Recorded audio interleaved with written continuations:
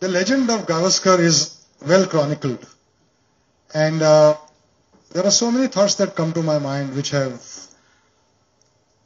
I may not remember or at this moment which is so big, I may not recollect.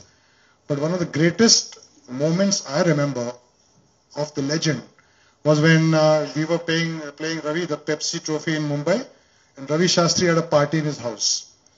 All the big guns had come: Imran Khan, Viv Richards, Malcolm Marshall, Desmond Haynes, and Ravi had a party in his house. And the great man came half an hour, 45 minutes, one hour late because that was his style of entry.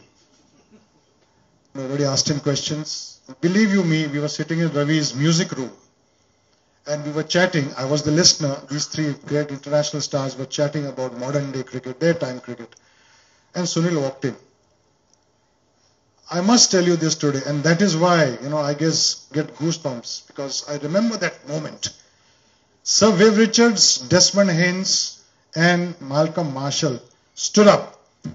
Here comes the master, is what they said. And what greater tribute can anybody give to him when these three people stood up and said what they said?